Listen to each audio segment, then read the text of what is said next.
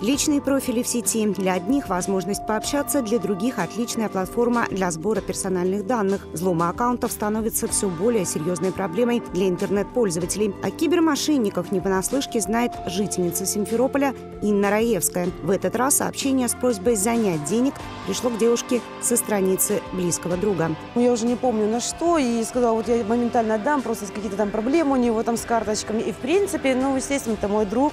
Мы там даже как-то пообщались там по личному, очень естественная беседа была. Вот, и я уже собралась отправлять а, эти деньги, переводить.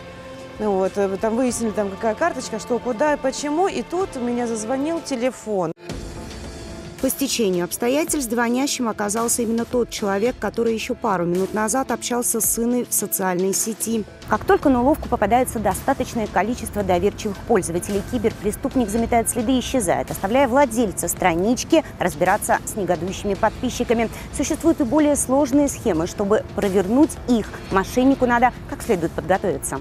И в таких случаях деньги просят уже даже не через личную переписку, а в публичной плоскости. Например, на взломанной странице публикуется пост с призывом о помощи. Такого рода сценарии рассчитаны на больший улов, поэтому в ход идут самые мощные аргументы. Мой сыночек умирает. Умоляю, стоя на коленях. Срочно помогите. С таких слов начинается призыв о помощи, опубликованный на страничке в социальной сети Сергея Степанова. В посте говорилось, что пятилетний сын Сергея попал под колеса автомобиля. Водитель с места происшествия скрылся, малыш в критическом состоянии был доставлен в больницу. На мольбу о помощи живо откликнулись друзья из соцсетей. Одним из первых был Михаил Клименко. Опешил от происходящего, возможности там какой-то, даже не подумал о том, что позвонить, там как-то что-то предупредить, там сказать. Э, собственно, помог, чем смог. Вот. Ну а, конечно, когда уже узнал о том, что это э, дело рук мошенников, стало горько. Не меньшее потрясение перенес и хозяин взломанного аккаунта. О том, что на его страничке орудуют мошенники, молодой человек узнал от жены. Я захожу в Инстаграм и вижу, что пароль поменяли, я зайти не могу. Начинаю быстро пытаться восстановить его, понимаю, что и почта моя уже отвязана. Э, начал связываться с э, своими друзьями, которые могли бы мне помочь в этом. Э, естественно, толковых людей хватает, но сразу понятно, что работали профессионалы.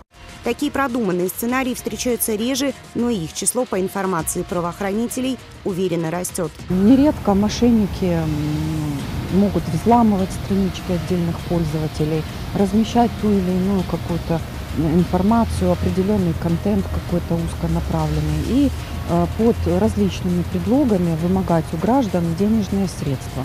Поэтому мы обращаем внимание, ни в коем случае нельзя идти на поводу у мошенников.